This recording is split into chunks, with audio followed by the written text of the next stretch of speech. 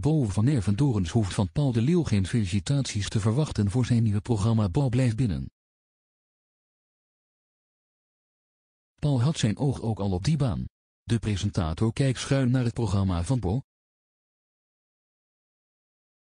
Bo vs Paul. Sinds 28 maart is Bo live te zien op de buis. Nu mogen we natuurlijk de straat niet op, dus doet Bo dit gewoon vanuit zijn huiskamer. Paul is niet blij met deze presentator, want hij had liever zichzelf op de buis gezien.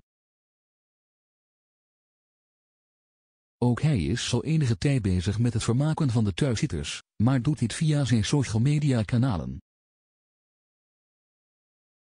In zijn online programma TV Quarantine filmt Paul vanuit zijn eigen huiskamer. Hij had zelf ook wel met zijn programma op tv gewild. Paul denkt te duur te zijn voor RTL. Ik ben freelancer, waarschijnlijk ben ik te duur.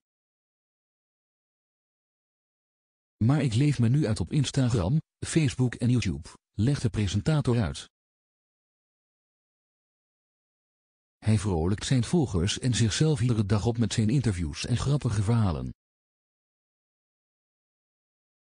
Aangezien veel van zijn projecten dit jaar niet doorgaan vanwege de coronacrisis, vond Paul dit een goede vervanger. Ook al had hij het natuurlijk, net zoals Bo, liever op tv gezien.